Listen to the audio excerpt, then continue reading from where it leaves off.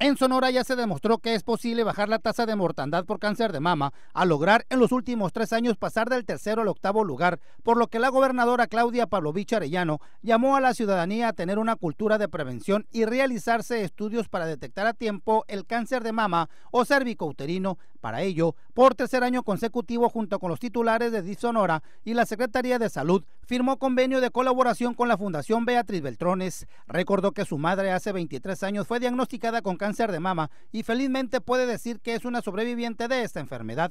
O sea, es la gran importancia de que se detecte a tiempo. Así que yo creo que todos en Sonora hemos hecho un gran trabajo en una campaña que no debe ser nada más en octubre, ni en noviembre, ni en diciembre, sino permanente de que la gente entienda lo importante que es ir a revisarse.